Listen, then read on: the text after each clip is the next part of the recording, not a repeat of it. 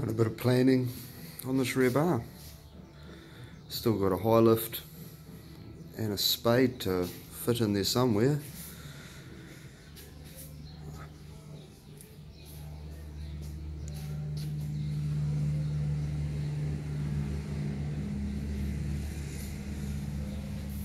Factory tail lights are going to be all but covered up, but got LED strip lights going down the bottom. Anchor, jerry cans. It's quite hectic. But yeah, the amount of planning is ridiculous.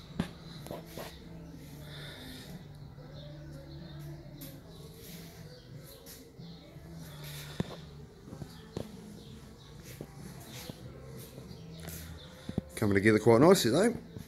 I think it'll do the job well.